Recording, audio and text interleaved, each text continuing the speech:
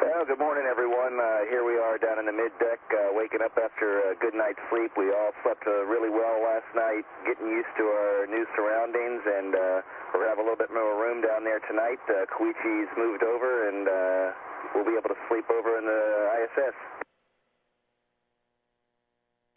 Getting a nutritious uh, breakfast packed, uh, ready, and uh, still learning to deal with uh, microgravity but uh, we're all feeling pretty good and uh, been eating and sleeping really well.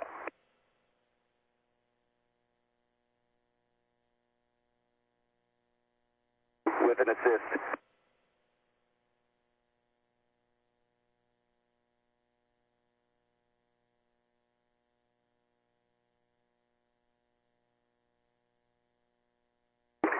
There's our uh, new Expedition 18 crew member, uh, Koichi. He's over having some uh, dinner right now on the on uh, Space Station Alpha in his new home. But uh, uh, we're so happy to be able to uh, deliver Koichi to the space station, letting him join the new crew. And uh, we're we're sorry to see him go. We uh, we so thoroughly enjoyed having him as a member of STS 119. But uh, and you can tell how uh, how excited I was about getting into that breakfast this morning as well.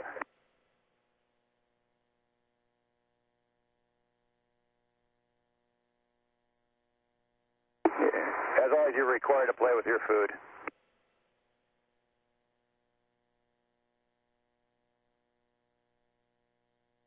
There I am uh, cleaning up my act after a couple of days.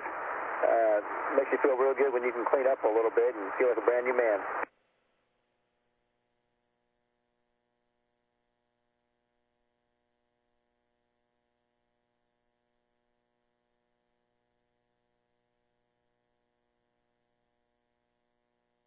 Okay, we're coming up on an OMS burn, and you see the two OMS engines. We're looking aft, with the shuttle tails in the middle, and in just a little bit you'll see it start to turn red. And the purpose of this burn, of course, was to adjust our orbit for the rendezvous.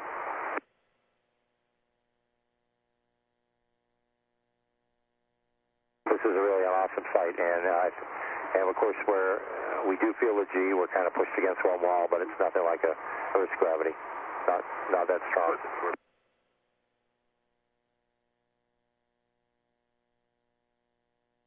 So as you can see, this, this is kind of thrilling to see these two rockets firing and the tail of the orbiter turning red.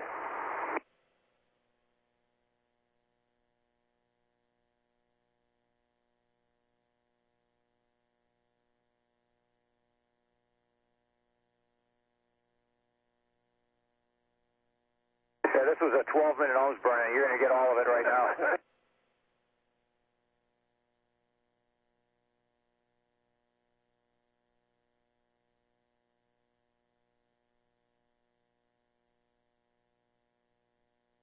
We had a little uh, malfunction with our bicycle up here, so we had to resort to a couple other methods of exercising.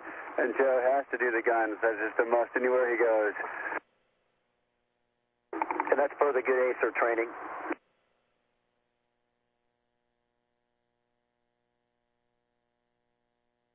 Right now we are uh, putting the EMUs into the mid deck for docking. Keep putting them out of the airlock. Here's another one moving on in.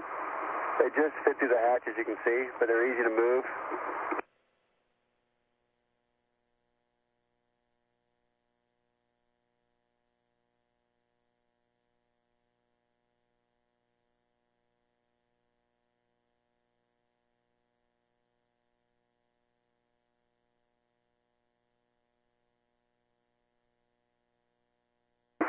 Okay, they handed me the uh, microphone for uh, part of the video I didn't even get to see.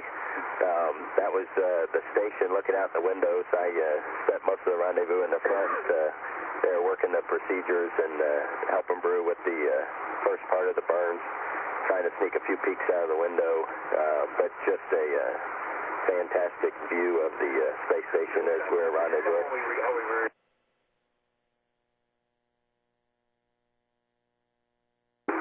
after uh, I guess a, a handful of our burns when we're just over a rev away, uh, Brew hops out of his seat, slides to the back so he can fly the space shuttle uh, from the aft cockpit. Uh, Joe uh, I slide over and Joe comes up and joins me for uh, the next uh, several burns as we get uh, a little bit closer before we hand it over to Brew. So here's me in the uh, my chance in the left seat and uh, first chance to uh, fly the space shuttle, and uh, it's uh, it's pretty amazing. You get uh, sensations that just don't capture in the simulator.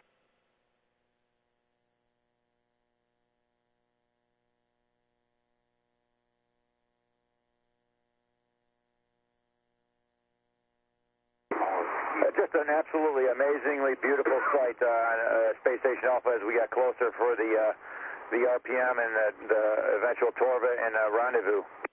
But uh, really, uh, the pictures or words can't uh, do justice uh, to what this uh, beautiful sight looks like as we get close. And here we are. Uh, uh, I'm shooting the laser range, rangefinder, which is a backup range and closure rate indicator. We got our first uh, first hit about two miles out, and then had had good luck uh, from that on in.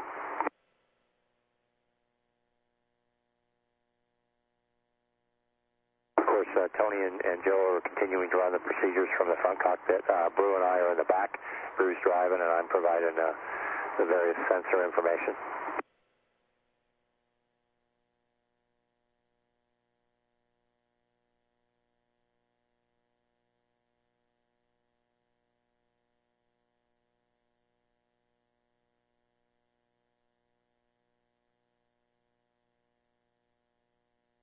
And as we get close to the station, uh, Swanee and I uh, join on the aft uh, flight deck and uh, power up the uh, APDS, the docking system, and uh, to help us uh, when we pull up the station and dock to it, it actually captures and uh, pulls the two vehicles together.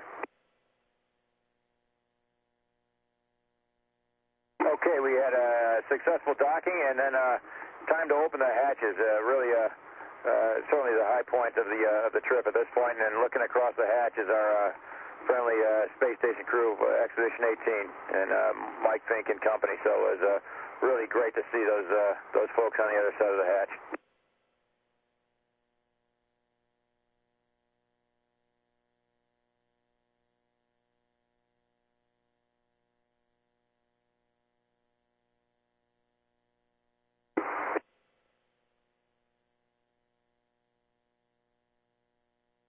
So we popped the hatches open, then we had to do a little more uh, uh, reconfiguration with some of our ECLSS systems, and then uh, time for the whole crew to uh, uh, climb aboard Space Station Alpha for the first time on this trip.